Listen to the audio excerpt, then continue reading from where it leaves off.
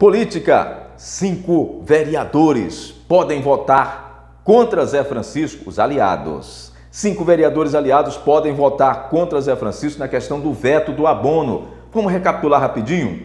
Olha, quando a lei do abono chegou no palácio ali, na municipal, o prefeito vetou dois artigos, lembra? Um que mandava ele dizer tudo que ele fez com 135 milhões ano passado, do Fundeb, e o outro que dizia, olha, não é para descontar o IR. Ele vetou esses dois. Pagou do jeito que pagou, vocês já sabem, por causa do desconto do imposto de renda, houve aquela quedazinha, ele prometeu 6 mil e aí veio o leão e comeu uma boa parte do dinheiro, caiu para 5 mil, você já sabe dessa história. Agora, vai tá na Câmara a discussão do veto. Se esses cinco vereadores da base dele apoiarem a oposição, ele perde. E perdendo, uma das consequências é ter que devolver o dinheiro que foi descontado do imposto de renda do abono dos professores. Olha o tamanho da confusão. Será se ele guardou o que reteve na fonte? Porque esse dinheiro não era para retornar para o governo federal, era para, ficar nos cofres do município.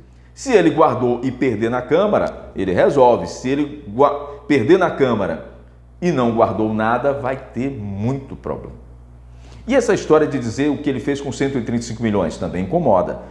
Tanto incomoda que, nos bastidores, eu recebi uma ligação já de dois vereadores aliados, são cinco dissidentes, dois já me confirmaram essa história, e eles dizem: olha, o governo, obviamente, vai. Eu, na verdade, disse, né? E eles concordaram: o governo vai ter as, a, a, as chaves dele, a, o modo de operar. Se ele tem vocês com eles, ele tem emprego de vocês, tem uma série de, de benefícios que podem ser cortados caso haja essa rebelião.